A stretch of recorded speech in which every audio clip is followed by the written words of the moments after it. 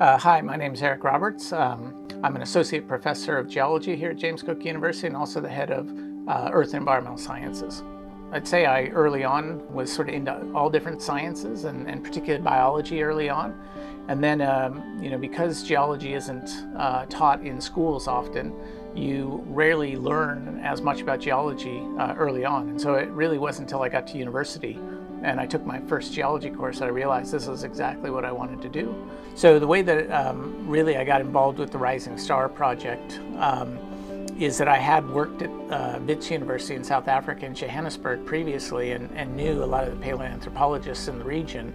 And Paul Dirks and myself, uh, another colleague, were working uh, on a project uh, in the area we were uh, invited by Lee Berger, the uh, lead, I suppose, on the Homo naledi project, and he sort of let us know that, look, we found a, a new uh, fossil deposit, and uh, would you be, you know, would you be available to go down this cave and, and help us work on the geology? So the, what makes this uh, discovery really uh, exciting is that the fossils um, are in a really deep cave that's 30 meters underground and it's really inaccessible. So it requires um, a combination of rock climbing skills and caving skills to get into the chamber.